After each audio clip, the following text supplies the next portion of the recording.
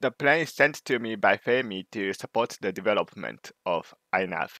On this day, I had a terrible weather. The, it's very sunny and windy. I've tried to assemble my sunshade, but the wind is so strong that I only left the wireframe on the ground. Uh, on current stage, there are some vibration problems on the transition from the multi-rotor to the fixed wing.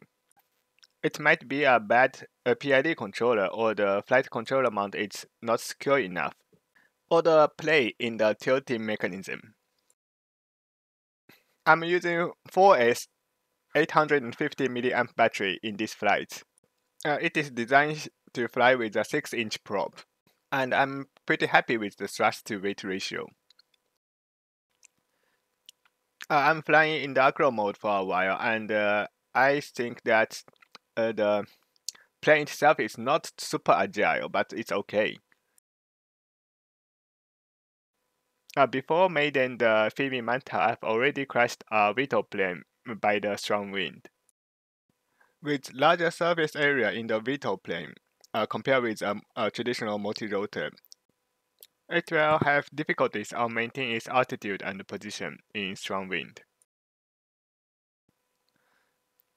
Uh, so I didn't try the VTOL landing here, but just a normal plane landing, and you can see how shaky it is.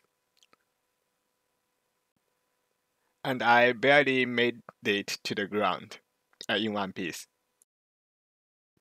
Uh, start from here, it's the second flight in this day.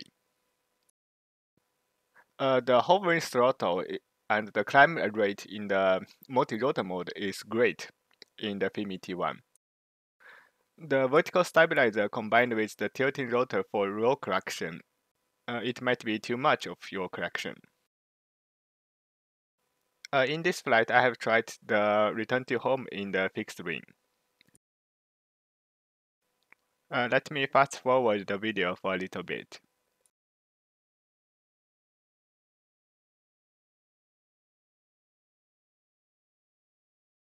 And I interrupt the landing and uh, switch it into the multi-rotor mode and start hovering here.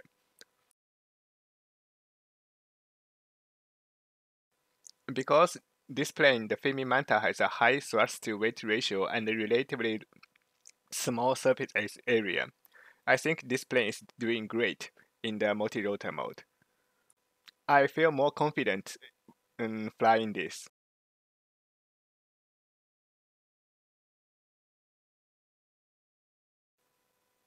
It might be better to head in towards the wind uh, in the multi-rotor mode to help its yaw control.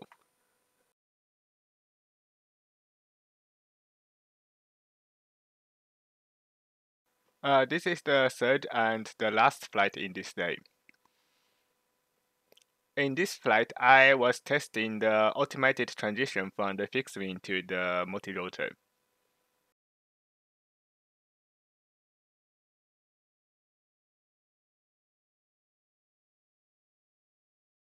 Uh, let me fast forward the video to the most interesting part.